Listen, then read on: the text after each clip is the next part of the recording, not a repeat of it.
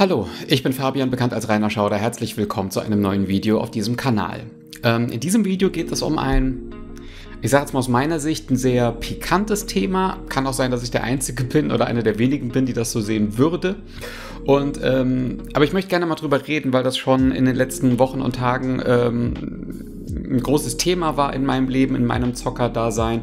Und äh, daraus lassen sich sehr, sehr interessante Themen ableiten und über die würde ich gerne mal sprechen. Der Einstiegspunkt dafür ist recht banal und zwar, dass jetzt aktuell in diesem Zeitraum keine aktuellen Videospiele rauskommen, die mich irgendwie interessieren. So, ich ähm, habe noch ein paar Sachen auf Halde, die ich noch nicht durchgespielt habe, wo ich auch gar nicht weiß, ob ich die beenden werde, weil irgendwie kein Bock drauf und so. Ne, das weiß ich jetzt noch nicht, aber man guckt ja auch immer so, was kommt so im April raus, was kommt so im Mai raus. Und ich muss ganz ehrlich sagen, speziell der Mai, da ist aktuell nichts dabei, wofür ich brenne. Also da sind vielleicht ein paar Nice-to-Have-Sachen dabei, die vielleicht so ein bisschen interessieren, ne? aber grundlegend äh, lässt mich da alles eigentlich so kalt. Und das sind ja eigentlich immer so diese Momente im Jahr, die man nutzen kann, um alte Spiele nochmal nachzuholen. Und da war tatsächlich der Jetewin ein ganz großer ähm, Einflussgeber, sage ich jetzt mal, weil der hat ja vor kurzem erst ein Video rausgehauen, dass er einen Monat lang nur Retro gespielt hat und es tatsächlich auch ganz gut fand. Ich werde euch das in der Videobeschreibung verlinken.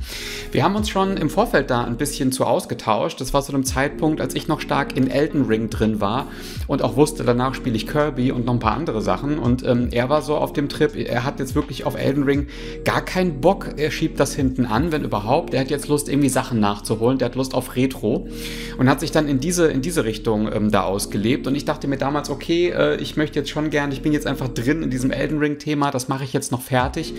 Aber ähm, so im Nachgang muss ich schon sagen, ähm, dass, dass mich das schon beeinflusst hat und mir auch ein bisschen Bock gegeben hat, nochmal zu gucken, was kann man denn noch nachholen. Und wie es halt so ist, dann geht man wieder in den Keller runter oder man äh, scrollt so ein bisschen seine, seine Bibliothek durch, seine Digitalkäufe ne, und denkt halt drüber nach, klar, Ne, also ich habe ein paar Konsolen verkauft, ich habe halt noch eine Wii, ich könnte noch Metro, äh, Metroid Prime 3 spielen, ich könnte Project Zero 4 nochmal spielen äh, oder solche Geschichten. Ähm, oder eben auf der PlayStation 2 generell Project Zero die Teile, weil ich die bis heute nie beendet habe. Aber da fällt einem immer so ein bisschen der Bock um, wenn es darum geht, diese alten Konsolen aus dem Keller zu holen und die dann anzuschließen. Gerade bei so alten äh, Konsolen, ne, 16-Bit-Era, ich habe so einen so USSC-Converter mir mal für teuer Geld gekauft und damit kriegt man auch ein crispes Bild auf einen 4K-Fernseher. Aber es ist halt einfach zu müßig so. Es ist halt wirklich, also es ist halt wirklich einfach eine Spaßbremse, diese alten Konsolen zum Laufen zu bekommen. Und dann kommt man natürlich um diesen Begriff Emulator nicht drumrum. Und ich habe in der Vergangenheit eigentlich nie über Emulatoren gesprochen. Das ist eine Sache, die wollte ich außen vor lassen. Das war immer so ein bisschen so eine Randerscheinung, wenn es zum Beispiel darum ging, Videospiele zu erhalten, äh, weil ja natürlich irgendwann die Hardware kaputt geht oder solche Themen. Aber es ging mir eigentlich persönlich nie darum, dass ich jetzt irgendwie sage, ich nutze Emulatoren und ich wollte da auch nicht irgendwie Werbung für machen oder Leute ermutigen, es mir gleich zu tun. Und ich habe auch Emulatoren schon seit Jahren nicht mehr verwendet. So, ich hatte in der Vergangenheit, also ich möchte jetzt ein bisschen mal einfach über das Thema reden, wie so meine Vergangenheit damit ist. Ähm, und die liegt sehr, sehr, sehr lange zurück. Also ich hatte eine sehr wilde Emulatorzeit äh, und zwar so um die 56K Modem, Schrägstrich, als so die ersten DSL-Anschlüsse in Deutschland zur Verfügung standen äh, und die ersten Flatrates, meine Familie war da eigentlich immer recht äh, vorne mit dabei. Da hatte ich eine sehr krasse Phase, weil ich eben mein Leben lang nur am PC gespielt habe und diese ganzen Klassiker auf dem Super Nintendo, NES, Mega Drive, Master System, Game Gear, also es war eher so diese, diese äh, Konsolenseite hatte ich Lust, einfach Dinge nachzuholen und Dinge mir anzugucken und das so ein bisschen zu schnuppern, was man so verpasst hat. Ne? Und ich habe gezogen und gezockt ohne Ende und muss am Ende vom Tag sagen, die wenigsten Sachen habe ich irgendwie beendet. Das waren halt so meistens irgendwelche kurzweiligen Geschichten. Also ich habe auch sehr viel aus dem Arcade-Bereich nachgeholt. Das Neo Geo war bei mir auch ein, großes Thema, was ich ja eh keine Sau irgendwie damals leisten konnte. So Metal Slug und solche Geschichten oder Beat'em-Ups. Ne? Also das habe ich sehr, sehr stark konsumiert. Aber wirklich ein Spiel mal so, ein richtiges Singleplayer-Game mal so durchgezogen, so, das ist vielleicht nur ein, zwei Mal passiert. Und ich habe mich eigentlich auch recht schnell sage ich jetzt mal, wieder davon gelöst, weil es da halt äh, ja so zwei Aspekte gibt, die mich da genervt haben. Zum einen ist es natürlich so eine so eine Entwertung irgendwie Also ähm, irgendwann habe ich ja dann angefangen, Konsolen und Videospiele zu sammeln und das war für mich eine bessere Wertigkeit, als jetzt irgendwie eine Datei auf äh, einer Festplatte irgendwo oder auf einem Datenträger zu sichern. Und natürlich halt auch diese große Menge an Games. Ne? Also das spielt so komplett in meine aktuelle Denke noch mit rein. Damals halt im Emulator, ähm, äh, später dann bei physischen Datenträgern, dass ich mir gedacht habe, okay, ich habe jetzt einen Zugriff auf hunderte von Games äh, und ich das ist nichts Ganzes, nichts Halbes. Ich weiß nicht, was ich spielen soll. Ich habe in alles mal reingespielt, aber nie was durchgezogen. Und ähm, das, äh, da habe ich am Ende vom Tag halt auch gedacht, okay, dann brauche ich den ganzen Kram halt eigentlich nicht. Und wenn ich halt einfach diese Branche und dieses Hobby halt einfach so sehr liebe und schätze, dann möchte ich natürlich auch ähm, da die Originaldatenträger besitzen und möchte jetzt nicht irgendwelche Sachen halt irgendwie schwarz irgendwie aus dem Internet runterladen. Und das war ähm, lange meine Meinung und ich bin da auch, sage ich jetzt auch mal, sehr streng gewesen und äh, hatte da auch kein Verständnis für, wenn Leute jetzt wirklich Emulatoren genutzt haben. Das hat sich jetzt aber in den letzten Tagen und Wochen geändert und ich möchte euch gerne ein bisschen vermitteln, äh, wie das denn so gekommen ist. Der ausschlaggebende Punkt war, dass ich ähm, über diverse YouTube-Videos, die mir so angezeigt wurden in, in, der, in den Empfehlungen, äh, ich irgendwie rausgehört habe, dass die Xbox Series S gerne für, für ähm, Emulatoren verwendet wird. Ne? Also das ist, Alter, also das, das Thema Emulatoren, ich muss vielleicht mal diesen Schlenker nochmal nehmen. Das Faszinierende daran ist ja, dass das einfach bis heute so eine krasse Graustufe ist und ich meine, Nintendo sind auch die einzigen, die da jemals Leuten auch einen Riegel vorgeschoben haben, dass sie so Seiten platt gemacht haben oder dass sie sich wirklich auch dagegen aussprechen, dass man deren Systeme emuliert. Und ich habe so das Gefühl, und ich glaube, jeder hat das Gefühl, der restlichen Branche ist das tatsächlich krass egal. Am PC waren, ähm, also abseits von Emulatoren, Raubkopien waren natürlich am PC immer so ein Ding. Ich habe das Gefühl, das löst sich mittlerweile, weil halt einfach am PC nur noch digital und accountgebunden vertrieben wird. Ne? Aber ist, ich, ich komme einfach bis heute nicht drauf klar, dass es halt einfach wirklich öffentlich Seiten gibt, wo man Videospiele runterladen kann, die eigentlich Geld kosten. Und ähm, auch Let's Player Emulatoren verwenden für ihre Let's Plays und da offensichtlich keiner irgendwie einen Blutdruck mit hat. Man weiß, das ist illegal und da gibt es auch kein Verständnis dafür. Da gibt es ja dann solche Trugbilder, dass man irgendwie äh, Spiele innerhalb von 24 Stunden irgendwie löschen soll und oder man darf sich's runterladen, wenn man es original besitzt und so. Und das sind alles Sachen, die stimmen tatsächlich nicht. Also es ist wohl so, dass, ähm, dass es mehr oder weniger eigentlich legal ist, einen Emulator zu verwenden, es sei denn, da wird ein spezielles BIOS verwendet, was dann natürlich wieder geschützt ist. Und äh, man ist natürlich in Deutschland ähm, dazu berechtigt, sich von seinen Datenträgern auch private Kopien anzufertigen. Also man könnte sich ein Image ziehen, sage ich jetzt mal, und das dann vielleicht auch emulieren. Aber äh, sich Spiele runterladen, egal ob man es besitzt oder nicht, das ist halt einfach illegal. So, es ist klar, dass es den, den, den Runterladenden wahrscheinlich weniger betrifft als den Hochladenden. Ne? Aber das ist halt einfach eine Sache, die ist im Raum und das ist auch ein Market. Das ist ein, das ist ein riesengroßer Markt, weil einfach es gibt YouTube-Kanäle, die nichts anderes machen, als Retro-Handhelds vorzustellen, die für Emulatoren ausgelegt sind und wo es dann darum geht, welche, welche Konsole kann man mit welchem Handheld emulieren. Das ist schon ziemlich abgefahren. Also es ist eigentlich nicht erlaubt, das ist eigentlich illegal. Das sind alles urheberrechtlich geschützte Materialien und Kultur, kulturelle Produkte, aber die werden angeboten und die können verwendet werden, auch für kaufbare Hardware. Aber man weiß, ne, das hat ein Geschmäckle und das ist eigentlich nicht erlaubt. Also das ist eigentlich schon so eine Sache, das, das flasht mich mega. Und zwischen diesen ganzen ähm, Handhelds, die es da gibt, habe ich mitbekommen, dass die Xbox Series S äh, wohl sehr beliebt sein soll, wenn es ums Emulieren geht, weil es natürlich eine Konsole ist mit einer ordentlichen Hardware-Power, die halt eben ja kein 4K kann, aber doch man für wenig Geld äh, ein gutes Gerät kaufen kann, wo man Dinge mit tun kann. Und das ist tatsächlich so ein bisschen mein Einstiegspunkt gewesen in diese ganze Thematik. Aus Interesse habe ich mir dann äh, mal ein Tutorial angeguckt, äh, wie funktioniert das. Und das ist, äh, pff, ja, also das ist jetzt keine leichte Angelegenheit gewesen, aber es hat mich doch so interessiert, dass ich mir gedacht habe, ich mache das jetzt einfach mal. Ich bringe jetzt einfach mal äh, einen, Emulator und den kannte ich nicht, der nennt sich RetroArch. Und der sollte eigentlich so ein bisschen der ausschlaggebende Punkt sein, warum ich dieses Video überhaupt mache. RetroArch ist... Ähm, eine Art, äh, wie, wie, soll ich das erklären? Das ist eine Art ähm, Emulator-Oberfläche, die mehrere Emulatoren beinhaltet. Das läuft über sogenannte Cores. Das heißt, von sämtlichen Heimcomputern, Konsolen und so weiter und so fort gibt es jeweils einen Core für äh, dieselbe Plattform, teilweise auch unterschiedliche. Und damit kann man quasi, ähm, das heißt, man kann damit quasi mehrere Videospiele von unterschiedlichen Plattformen einbinden. Und, dieser, und diese Oberfläche ähm, erfreut sich seit zig Jahren ähm, einer sehr großen Beliebtheit und die wird auch unterstützt von Mittlerweile halt natürlich der Xbox Series S über Wege. Äh, auf Steam ist sie vorhanden, das heißt, das wird wahrscheinlich auch auf dem Steam Deck vielleicht funktionieren. Äh, auf Android-Geräten, äh, am PC natürlich. Und äh, da hat man eben die Möglichkeit, sich so eine Bibliothek einzupflegen. Und ich habe das mal ein bisschen getestet, so ein bisschen damit rumgespielt und ähm, wurde sehr, sehr krass geflasht von dieser Plattform, weil, und jetzt kommt der Punkt, warum ich darauf kleben geblieben bin, weil sie eine, eine hervorragende Unterstützung für alte DOS-Games beherbergt. Und das ist natürlich meine Kindheit, ne? also das, damit bin ich aufgewachsen.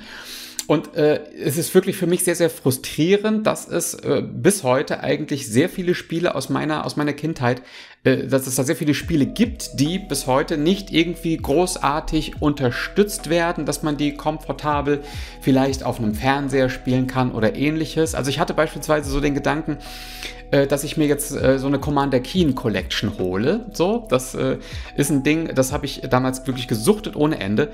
Gibt es auch mittlerweile, wird, wird kommerziell äh, einfach vertrieben. Ne? Das habe ich mir bei Steam gekauft. Ich glaube, für 5 Euro oder sowas gibt es eine Collection mit Teil 1, 2, 3, 4, 5 und ähm, äh, dachte mir, okay, ähm, das kann man dann irgendwie auch über das Steam-Link. Ich habe ja eine ganz, ganz große Steam-Link und äh, Steam-Controller-Phase gehabt äh, und das verwendet, äh, habe ich auch ein Video drüber gemacht, das werde ich auch mal verlinken, ne?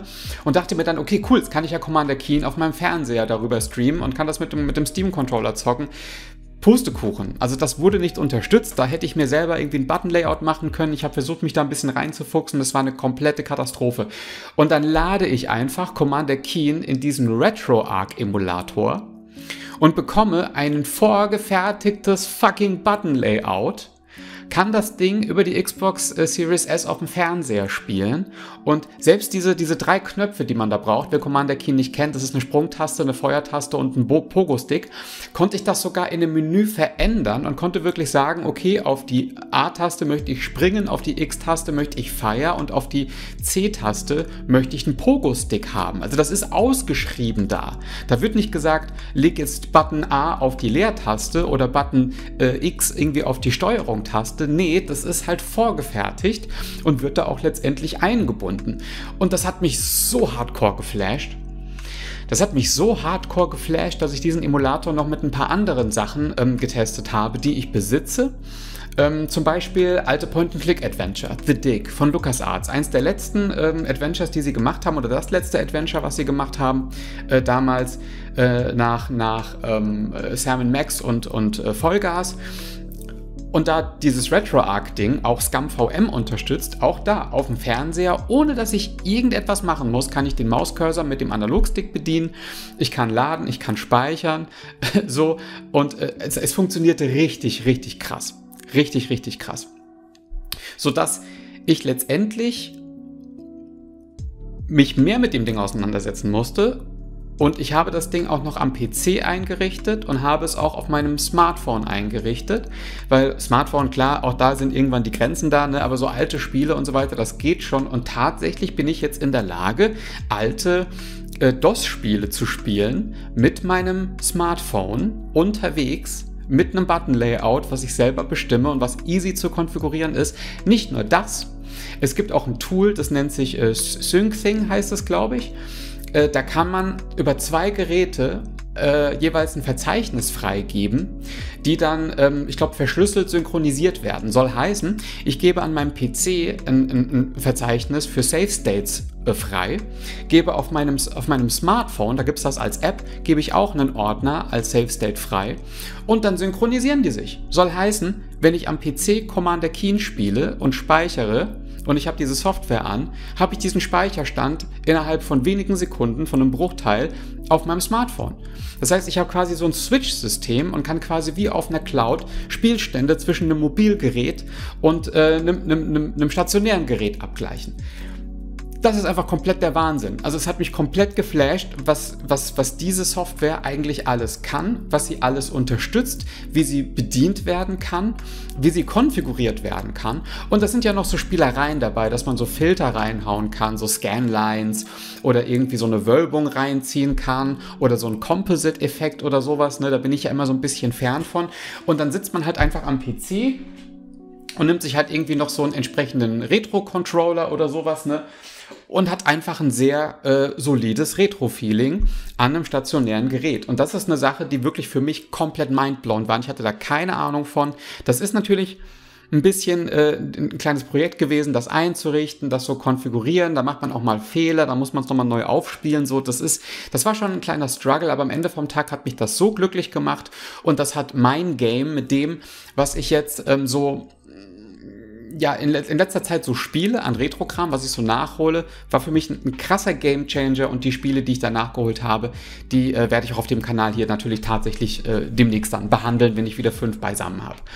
Das hat, das hat mich komplett geflasht und natürlich lässt einen das so drüber nachdenken, wie geht eigentlich die Branche mit diesem ganzen Thema um.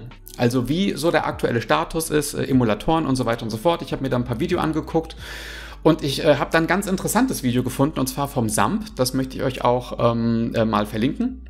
Der hatte irgendwann, ich glaube, das ist schon Jahre her, irgendwann mal ein Video gemacht, so ein Real Talk-Video über Emulatoren, wie er so persönlich dazu steht. Da kann man auch, glaube ich, geteilter Meinung sein. Aber grundlegend hat er einen sehr interessanten Punkt gemacht, wenn es darum geht, dass Emulatoren heute etwas liefern, was die Branche vermissen lässt, nämlich Zugänglichkeit. Und er hat das verglichen mit, ähm, mit File-Sharing zu Anfängen des Internets mit Musik, mit MP3s, als es damals Napster gab oder sowas oder Kazaa oder, oder solche Sachen.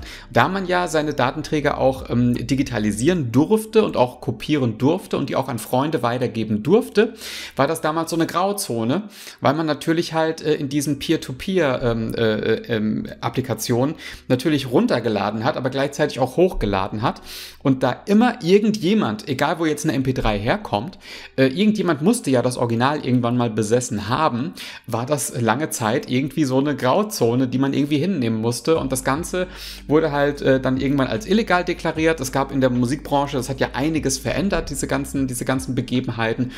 Und ähm, äh, hat, also Samp hat einen ganz interessanten Punkt angebracht, dass Apple irgendwann sagte, okay, offensichtlich haben die Leute das verwendet es wurde illegal. Die Leute haben es weiterverwendet, weil es einfach bequem war und weil es zugänglich war. Und ähm, da kann man sich jetzt querstellen und irgendwie ähm, strampeln und das einfach scheiße finden, aber äh, die Branche hat dann in der Hinsicht reagiert, dass Apple iTunes auf den Markt gebracht hat und wir kennen ja heute noch ähm, die ganzen Nachzügler wie äh, YouTube Music und äh, ich glaube Amazon hat dann noch äh, einen Ableger irgendwie von dieser, glaube ich, gibt es noch solche Geschichten. Also es gibt mittlerweile etablierte Streaming-Portale, wo man einfach Musik hören kann, ähm, weil einfach die Leute es weiter illegal gezogen hätten, weil es einfach viel bequemer ist und man gemerkt hat, da entsteht ein neuer Wunsch, äh, einen Zugang zur Musik zu haben. Und das ist, ist, super interessant. Da kann man sich natürlich darüber streiten, dass das natürlich auch, äh, dass, dass, dass, dass Musiker natürlich mittlerweile an Alben nicht mehr so viel verdienen, dass die irgendwie auf Tour gehen müssen, um da halt die Hauptkohle zu kriegen, whatever. Ne? Und dass natürlich da auch so eine, dass das auch schädliche Auswirkungen hatte auf die Musikindustrie, dass es sehr, sehr mehr auf Quantität geht, aber das, äh, ne, das ist ja ein, ein, Leitthema, das betrifft ja alle Unterhaltungsmedien. Aber grundsätzlich ist das so eine Veränderung gewesen. Im, Im Bereich der Serien ist das und Filme ist das ähnlich. Dort ist es ja so, dass, äh, dass, dass es die Angebote sich quasi verteilen auf unterschiedliche Anbieter, auf Amazon Prime, auf Netflix, auf Sky Ticket, auf Disney Plus, auf Join, auf äh, whatever, Apple TV, keine Ahnung. Ne? Also da ist noch so eine Diskrepanz, dass man nicht weiß, was soll ich jetzt abonnieren. Ne? Aber grundlegend, wenn ich jetzt einen alten Film gucken wollen würde, es gibt auch Portale, wo man Filme gegen Geld ausleihen muss, also wo es jetzt nicht um ein Abo-Modell geht. Und ich würde den wahrscheinlich bei Amazon oder bei, ähm, bei Apple TV, vielleicht auch bei Sky, würde ich den digital ausleihen können. Also auch da hat man reagiert und hat festgestellt, okay, es gibt, die Leute haben da Bock drauf, einfach so ihre, ihre Filme zu kriegen und ihre Serien zu kriegen und wir bieten das denen halt einfach an. Und das ist auch eine Diskussion, die uralt ist, weil man damals zu Game of Thrones Zeiten war das, war das interessant, weil dort die Leute ja auch die Streaming, die Stream-Plattformen frequentiert haben, weil sie einfach die Serie früher sehen wollten auf Englisch, als die im als die auch, glaube ich, auf RTL 2 damals ausgestrahlt wurde. Also das war damals auch ein, ein Ding und man hat heute darauf reagiert und Dinge sind einfach besser zugänglich. Ja. Und jetzt, liebe Videospielkultur, jetzt kommst halt du und die Frage stellt sich, wie geht denn die Videospielkultur damit um? Dass es offensichtlich einen Markt gibt für Retro-Handhelds, die emulierte Spiele abspielen, dass es ähm, hoch angelegte Emulatoren gibt, die über eine über eine, wie, quasi wie, wie ein Abbild von einem Betriebssystem mehrere Spieleplattformen vereinen können und äh, man das konfigurieren kann und es ein ganz, ganz großes Interesse daran gibt, wie geht die Videospielbranche damit um? Und die Antwort ist nahezu gar nicht. Und ähm, das ist deswegen auch so tragisch, weil heute hat sich natürlich die die Film- und Serienindustrie sich natürlich auch aufgespalten auf unterschiedliche Anbieter und so weiter und so fort. Ne? Aber es gibt zentrale Sachen wie beispielsweise Amazon, wo man mehr oder weniger alles bekommt gegen, gegen eine Gebühr. Aber selbst das gibt es in der Videospielbranche nicht. Die Videospielbranche hält das alles zurück. Und es gibt auch, und die sind, und die haben auch das Problem natürlich, dass man auch für jede Konsolengeneration unterschiedliche Konsolen hat und für jedes Spiel, was man gerne spielen möchte, wenn es ein Exklusivtitel ist, die entsprechende Konsole braucht, ein entsprechendes Abspielgerät braucht, sprich einen Bildschirm, der womöglich noch äh, ein RGB oder ein Composite oder irgendwer was ähnliches, einen Anschluss da braucht, was heutzutage auch nicht mehr jemand hat. Also die Videospielkultur, die Branche geht desaströs einfach mit ihrem Erbe um. Und man kann das zum, zum, zum Teil kann man das nachvollziehen.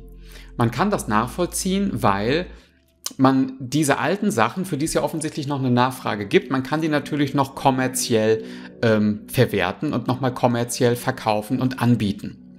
Und das passiert heutzutage wirklich in einer derart kundenunfreundlichen Art und Weise, dass es, dass es, dass das auch genauso mindblowing für mich ist, dass man das so macht, genauso wie es für mich mindblowing ist, dass die Emulator-Szene äh, existiert. Da hast du beispielsweise so sowas wie Nintendo. Die haben irgendwann angefangen mit der Wii eine Virtual Console einzuführen und das war eine richtig geile Sache. Da konntest du dann nämlich anfangen, äh, alte Super Nintendo-Spiele, alte NES-Spiele. Äh, die PC-Engine war sogar noch dabei. Äh, N64 kam irgendwann noch raus und du konntest dir irgendwie, ich glaube, für 5 bis 10 Euro, vielleicht auch mal 12 oder 15, je nach Titel, konntest du dir halt einen alten Titel kaufen und den halt noch spielen. Voll geil.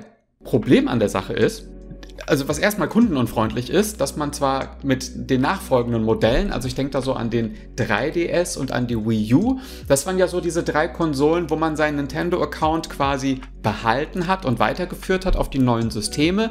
Man hat ja auch den Content von der Wii damals auf die Wii U transferiert, aber man hat jetzt nicht das Gefühl gehabt, okay, ich habe jetzt irgendwie Link to the Past auf der Wii gekauft und deswegen habe ich da jetzt auch Anspruch drauf auf der Virtual Konsole von der Wii U. Nö, das waren zwei getrennte Sachen. Oder auf dem 3DS. Das heißt, dieselben Spiele, dieselben Super Nintendo und äh, Mega Drive und NES und so weiter, diese ganzen Spiele werden angeboten auf dem NES, auf der, auf der Wii, auf dem 3DS, auf der Wii U damals und man musste, wenn man es auf drei Plattformen spielen wollte, nehmen wir mal an, du willst es jetzt irgendwie auch unterwegs zocken, musstest du für alle drei Systeme blechen. Und die haben dann irgendwann mit der Wii U nochmal den Game Boy Advance eingeführt, was auch eine große Sache war. Und, aber das war immerhin besser als nichts. Und anstatt dass die das jetzt weitermachen, haben die sich gedacht, hm, warum jetzt die Leute bezahlen lassen, einmalig, Warum nicht einfach irgendwie ein Abo-Modell wieder machen? Funktioniert ja gut, egal ob man es nutzt oder nicht. Die Leute haben einfach Bock. Man kriegt einfach Kohle aus denen raus, indem man sie einfach kontinuierlich bezahlen lässt. Sodass sie die Virtual-Konsole einfach abgeknickt haben und haben gesagt, okay, jetzt machen wir Nintendo Online und bieten halt einfach die Games zum Streamen an. So, genau wieder diese selben Games. Und äh, wir beschneiden uns sogar noch und nehmen das Mega Drive wieder raus und nehmen den Game Boy Advance wieder raus und bieten erstmal nur das Super Nintendo und das NES an und jetzt kommt das Nintendo 64 dazu und siehe da, das Abo-Modell wird nochmal richtig krass teurer für das Jahr gerechnet.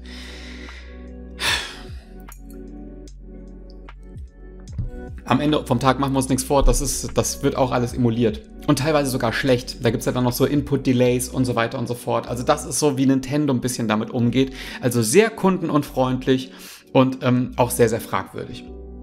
Es gibt andere Beispiele, beispielsweise diese elenden Classic Compilations für teuer Geld. Zum Beispiel Collection of Mana oder sowas. Ne? Oder jetzt diese Disney Classics, Lion King und Aladdin Geschichte. Wir wissen auch da, das sind Emulatoren, die im Hintergrund laufen, die. Was soll das denn sonst sein? So, und die werden dann irgendwie für 35 Euro und für 40 Euro, also für überteuertes Geld wieder verkauft und man hat wieder einen Datenträger und so weiter und so fort. Warum gibt es denn nicht einfach irgendwie die Möglichkeit, dass man auf so einen Pool zugreifen kann an alten Spielen? Diese Unternehmen, diese Branchenteilnehmer machen sich einfach mal gerade und sagen, wir geben jetzt einfach unser geistiges Eigentum weiter und wir befüttern das irgendwie über so eine Plattform wie eben Spotify oder eben wie Amazon oder sonst was, dass Leute einfach einen allgemeinen Zugriff auf diese alten Spiele kriegen. Das große Problem ist nämlich auch, dass natürlich nur die kommerziell erfolgreichen Spiele weiter vermarktet werden, weil man sich davon natürlich wieder Gewinne verspricht und es gibt Sachen, die fallen hinten runter und es gibt einfach Klassiker, die gibt es nicht abseits, also wirklich Klassiker die gibt es nur auf einer bestimmten Konsole und die kamen nie irgendwie portiert oder remastert oder sonst irgendwo für irgendwas raus. Und da stellt man sich schon die Frage, ja klar, kann ich mir jetzt irgendwie eine Cartridge kaufen bei eBay Kleinanzeigen für 25, 30 Euro und kann dann irgendwie diesen ganzen Kabelsalat halt irgendwie wieder in Kauf nehmen? Und es verdient ja sowieso keiner mehr dran, weil das Geld wurde ja bereits eingenommen für diese Cartridge, sie wechselt nur den Besitzer so, und im, im, im Gegenzug, ohne das jetzt irgendwie glorifizieren oder euch dazu anregen zu wollen, aber man kann sich einfach illegal irgendwie in wenigen Sekunden runterladen und das emulieren. Und dass man diese Chance einfach nicht nutzt, dass dann Interesse da ist, um, um das halt irgendwie anzubieten und stattdessen lässt man es versauern. Und ich möchte eigentlich das Versauern, ich möchte es eigentlich noch steigern, es ist eigentlich noch schlimmer. Man lässt es auf Halde, weil man natürlich irgendwann vielleicht nochmal die Möglichkeit sieht, äh, das Ding nochmal anzubieten, wenn gerade wieder der Hahn danach kräht. Also das ist so ein bisschen meine Intention. Project Zero 1, 2, 3. Das könnte man anbieten für, für einen schmalen Taler, sagen wir mal für 10 Euro, für 20 Euro pro Spiel. Warum denn jetzt halt nicht? Das würde definitiv Leute kriegen. Man müsste es nicht mal groß irgendwie portieren. Man müsste es einfach irgendwie nur rüberbringen, dass es kompatibel ist mit einer aktuellen Konsole, Konsolengeneration und gut ist. Stattdessen lässt man das halt irgendwie bei sich, ich kann mir das nicht anders vorstellen. Wirtschaftlich kann ich mir das nicht anders vorstellen, als ob man irgendwann vielleicht nochmal sich das offen hält. Irgendwann machen wir nochmal eine Trilogie für 50 Euro oder sowas irgendwie. Oder für Vollpreis, für 60 Euro. Keine Ahnung. Stattdessen bringen sie Project Zero äh, 5 raus, der der unbeliebteste Teil der ganzen Reihe ist, weil man, man wahrscheinlich da denkt, okay, äh, das passt vielleicht noch grafisch irgendwie so zur, zur aktuellen Lage. Aber, aber versteht ihr, was ich meine? Das ist, das ist wirklich eine Sache, das verstehe ich einfach nicht. Und jetzt kommen wir ein bisschen zu einer Sache, dass ich mir dann auch die Frage gestellt habe, okay, ähm, oder rausgefunden habe, das war auch eine Anregung von einem anderen Video, das habe ich jetzt leider vergessen, welches das war. Das war auch ein Tutorial, wie man äh, Mega Drive-Spiele, glaube ich, oder wie, nee, wie man Neo Geo-Spiele einbindet in RetroArch auf der Xbox Series S. Und anstatt das, normalerweise wird nämlich in diesen Tutorials immer gesagt, ey, ich äh, gebe euch keine Links für ROM-Seiten, das ist illegal, ne, das kriegt ihr nicht von mir, ne, wir reden hier nur wirklich nur über äh, die, das theoretische Einrichten von dem Emulator. Das ist vollkommen verständlich, dass man sich da rechtlich absichert. Aber in diesem Tutorial war es anders. In diesem Tutorial ist einer hingegangen und hat gesagt, ja, ich habe mir eine Neo Geo Collection gekauft übers Humble Bundle. So, die habe ich legal erworben auf dem PC. Und natürlich wird bei diesem Neo Geo Bundle auch nichts anderes als eine Collection von ROMs mitgeliefert und die hat er dann eingebunden. Das heißt, er hat seine Spiele, die er gekauft hat für ein System, legal erworben, hat er dann letztendlich die Anwendung zweckentfremdet auf ein RetroArch-System am PC. Und dieser Gedanke hat mich richtig krass geflasht. Dann habe ich mal geschaut, weil ich hatte mir irgendwann mal die Mega Drive Collection gekauft. Ähm, für, auf, auf Steam, logischerweise. Und siehe da, auch das sind im Prinzip ROMs, die kompatibel sind mit RetroArch. Also, was macht man natürlich? Man nimmt sich diese Spiele, die man legal erworben hat für Geld und packt die natürlich in einen anderen Emulator oder auf das Mobilgerät oder sonst irgendwo hin. Und ich habe jetzt die Möglichkeit, äh, alte Mega Drive-Spiele zu spielen, sehr komfortabel ähm, und kann die halt eben noch die Speicherstände synchronisieren zwischen PC und äh, mit meinem Mobilgerät. Und eine andere Sache, und das ist das, und das kommt ziemlich nah an das, was ich mir eigentlich so ein bisschen von so einer Gaming Spotify oder von einer Gaming Amazon Variante da verspreche. Das ist Good Old Games. Das ist eine Plattform, da habe ich auch in der letzten, äh, in letzter Zeit, also da mache ich immer mal wieder was mit, aber nie so wirklich oft. Aber die ist ja gerade dafür bekannt geworden, dass sie alte DOS-Games, die eigentlich nicht mehr lauffähig sind auf aktuellen Rechnern, dass sie die aufbereiten, auch mit einem DOS-Box-Emulator und das dann halt eben auch kommerziell vertreiben. Und das hatte auch eine Auswirkung auf diese ganzen Abandonware-Seiten. So, es gibt diesen schwammigen Begriff Abandonware, das bespricht im Prinzip Spiele, die nicht mehr kommerziell äh, vertrieben werden, wo niemand die Rechte besitzt und wo vielleicht auch die Schöpfer oder die, die das, die, die Rechte einst mal hatten, dass die äh, halt, dass es die nicht mehr gibt. So, also dass die quasi dann im Prinzip so in so einem urheberrechtsleeren Raum halt einfach existieren und dementsprechend dann halt runtergeladen werden können. Ob das so ganz der Wahrheit entspricht, weiß ich nicht, aber das ist zumindest so die Theorie. Und sehr, sehr viele Spiele sind in letzter Zeit aus dieser Abandonware-Rubrik rausgehoppelt, weil äh, die, die Urheberrechte wieder neu verhandelt wurden und diese Spiele wieder kommerziell vertrieben wurden. Also da ist gerade Commander Keen ein gutes Beispiel, weil Teil 1 bis 5 aktuell kommerziell vertrieben wird. Teil 6 ähm, aber äh, scheinbar noch Abandonware ist, weil sich niemand dafür interessiert, aus welchen Gründen auch immer. Und so gibt es ganz, ganz viele Games, die äh, bei Good Old Games halt eben angeboten werden und auch diese Spiele, da gibt es Ausnahmen, weil es manchmal darum geht, ob man dann irgendwie äh, nochmal ein CD-ROM-Laufwerk mounten muss oder solche Geschichten. Ne? Aber weitestgehend gibt es Spiele, die werden bei Good Old Games ähm, vertrieben und die kann man auch mit RetroArch benutzen. Was für mich dann natürlich die Konsequenz war, weil ich möchte natürlich hier mich weiterhin für die Branche gerade machen, machen, dass ich mir gesagt habe, okay, ich möchte, ich möchte, es geht nicht darum, dass ich jetzt irgendwie gratis Games haben will. Das muss man an der Stelle nochmal sagen. Und ich möchte auch schon gerne für das, was ich mag, möchte ich gerne Geld bezahlen. Das ist nicht das Problem. Aber äh, der Komfort, die Verwaltung und die Konfiguration ist einfach von, mit, mit, mit, ich sage jetzt mal, inoffiziellen Wegen, mit Emulatoren einfach so viel einfacher als in der tatsächlich gedachten Verwendung, sodass ich mir jetzt bei einigen Beispielen das getestet habe und gesagt habe, okay, ich kann mir Spiele runterladen über Good Old Games, kann die erwerben, kann die runterladen, kann die dann aber auch mit RetroArch verwenden, kann die am Fernseher spielen, kann die synchronisieren mit meinem, mit meinem Smartphone und habe da eine richtig, richtig krasse Handhabung. Und das ist jetzt so ein bisschen so der, der, der, der Schlusssatz letztendlich. Was kann die Branche nicht alles von der Emulator-Szene lernen? Es sollte da nicht drum gehen, dass man irgendwie den Anspruch hat, Dinge kostenlos zu kriegen. Ne? Das ist ja so ein bisschen das, was durch das Internet gewachsen ist. Die Leute haben kein Verständnis mehr für, für, für Wertigkeit bekommen, dass Dinge auch Geld kosten, sondern es gibt Dinge einfach äh, schwarz im Internet und ähm, man weiß, mehr oder weniger passiert mir da jetzt nichts, das wird toleriert, das wird ignoriert, das interessiert keinen und deswegen mache ich es und alles ist gut und ich habe da fast schon einen Anspruch drauf. Das ist nicht so mein Approach. Aber man kann daraus lernen, dass es halt einfach eine große Nachfrage gibt in dieser Szene an Videospielen und äh, dass es auch eine große Nachfrage gibt, das irgendwie unter einen Hut zu bringen über eine, über eine ansprechende GUI, über, über ähm, vorkonfigurierte Button-Layouts und so weiter und so fort und dass die Branche einfach dem Ganzen nicht nachkommt, weil die einfach noch so zerteilt sind.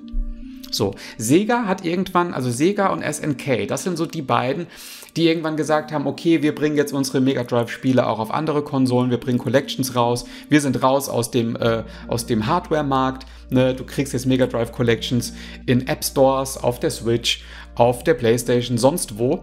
Und genauso Neo Geo Spiele kriegst du irgendwie auch, kannst du dir irgendwie kaufen, so einzeln irgendwie für 5, 7, 10 Euro, whatever. Also die sind da mittlerweile recht offen. Und ähm, für mich wäre das aktuell wirklich das Argument zu sagen, ich hole eigentlich meine Retro-Games eigentlich nur noch irgendwie über den PC, weil ich dann dort die Möglichkeit habe, die legal erworbenen Dateien äh, für meine Interessen besser zu nutzen. So. Ja.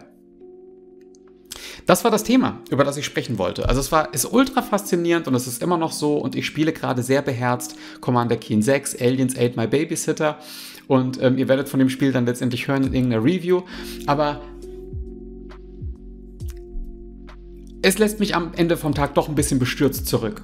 Es lässt mich wirklich bestürzt zurück, dass es wirklich dieser Branche so egal ist, wie mit Kulturgut umgegangen wird, wie mit Klassikern umgegangen wird, wie mit der Zugänglichkeit umgegangen wird und dass es da einfach keine einheitliche Regelung gibt, an der man vielleicht sogar, sogar noch verdienen könnte. So. Das ist das Schlusswort. Ich bin Fabian, bekannt als Rainer Schauder. Ich bedanke mich fürs Zusehen. Bis zum nächsten Mal. Man sieht sich. Ciao.